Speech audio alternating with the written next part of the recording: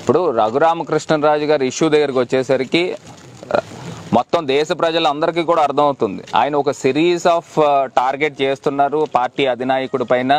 పార్టీని ఏదైతే సిద్ధాంతాలు ఉంటాయో దానికి వ్యతిరేకంగా వెళ్తున్నారనేది క్లియర్ కట్గా అందరికీ అర్థమవుతుంది. అది కూడా మేము స్పీకర్ గారికి ఆయన పార్టీ వ్యతిరేక కార్యకలాపాలు ఏవైతే చేస్తున్నారో అది యాంటీ డిఫెక్షన్ లాకి వర్తిస్తుంది. మీరు ఖచ్చి మీరు ఇమీడియట్గా ఆయన పైన చర్యలు తీసుకోండి. ఏదైతే పార్టీకి వ్యతిరేకంగా కార్యకలాపాలు చేస్తే ఆయన వాలంటరీగా మెంబర్షిప్ కోల్పోయినట్టు అవుతుందని వారికి కూడా ఎక్స్ప్లెయిన్ చేసాం పూర్తిగా. ఇన్ రైటింగ్ కూడా ఆయనకు ఒక two hundred and ninety pages document కూడా ఇవ్వడం జరిగింది. ఖచ్చితంగా ఇది భవిష్యత్తులో నా మాకు ఉన్న సమాచారం ప్రకారం మాకున్న అవగాహన ప్రకారం ఈ వారం రోజుల్లోనే ఈయన రఘురామకృష్ణరాజు గారికి నోటీస్ వస్తుందని మేము భావిస్తున్నాము.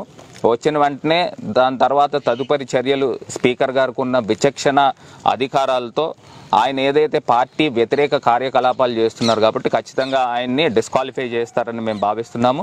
దాంతోపాటు మీరు గతంలో కూడా చూసినట్టయితే శరద్ యాదవ్ గారి యొక్క ఇన్సిడెంట్ కూడా ఎక్స్ప్లెయిన్ చేయడం కూడా జరిగింది. ఆయన ఏదైతే కాంగ్రెస్ పార్టీతో పాటు ఒక స్టేజ్ షేర్ చేసుకున్నారు. స్టేజ్ షేర్ చేసుకున్న వెంటనే దాని యొక్క ప్రెసిడెన్స్ ఉంది. ఇట్లాగే రఘురామకృష్ణరాజు గారు కూడా మీకు ఢిల్లీలో కనకమేడల రవీంద్రబాబు గారు టీడీపీ ఎంపీతో స్టేజ్ షేర్ చేసుకున్నారు. స్టేజ్ షేర్ చేసుకుని గవర్నమెంట్కి పార్టీకి వ్యతిరేకంగా ఆయన కార్యకలాపాలు జరిపారు. ఈ యొక్క ప్రెసిడెన్స్ కూడా మేము ఈ యొక్క సందర్భాన్ని కూడా స్పీకర్ గారి దృష్టికి తీసుకుని వెళ్ళడం జరిగింది.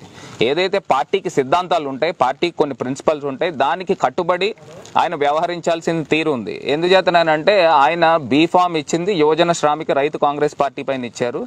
ఫ్యాన్ గుర్తుపైన పోటీ చేశారు.